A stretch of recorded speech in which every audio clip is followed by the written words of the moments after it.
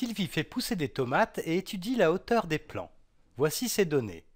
Donc le plant de tomates chair de bœuf, il fait 17 18e de mètre. Le plant de tomates Roma, il fait 8 9e de mètre. Le plant de tomates cerise fait 26 23e de mètre. Quelle est la différence de hauteur entre le plant de tomates chair de bœuf et le plant de tomates Roma? Alors ce qu'on nous demande ici en fait, c'est de trouver la différence de hauteur entre ce plan-là qui est le plan de tomate chair de bœuf, et le plan de tomate Roma, donc qui est celui-ci. On doit trouver la différence de hauteur entre ces deux plans, et ça, ça revient à faire la soustraction entre ces deux fractions qui sont là. Donc la soustraction, je vais l'écrire, c'est 17 18e moins 8 neuvième. Moins 8 neuvième.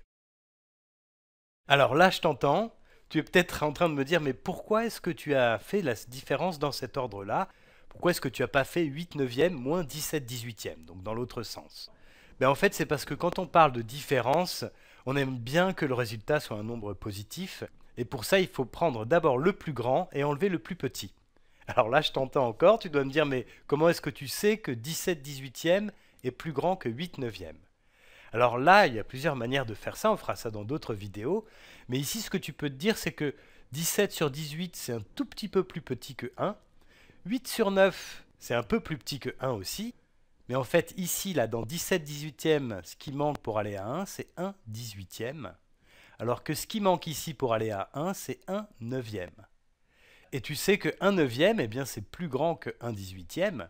Puisque par exemple, si tu partages une pizza en 9 parts, tu sais que les parts seront plus grosses que si tu l'avais partagé en 18 parts, évidemment.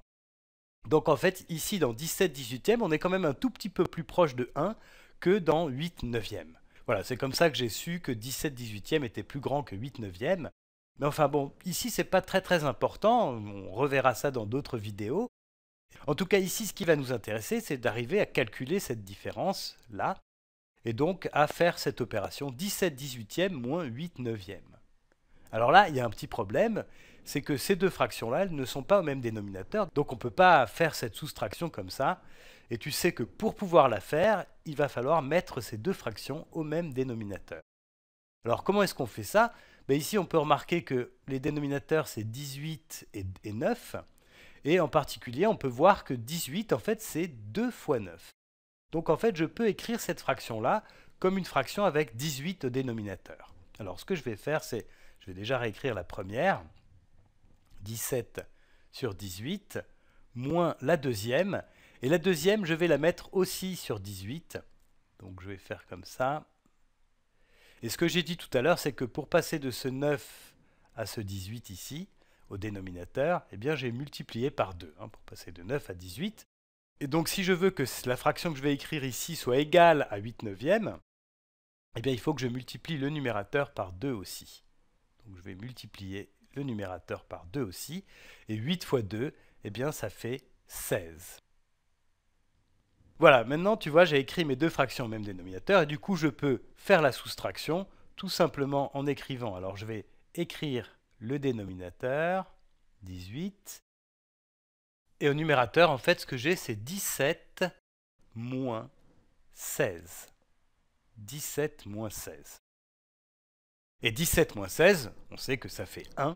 Donc finalement, le résultat, c'est 1 18e.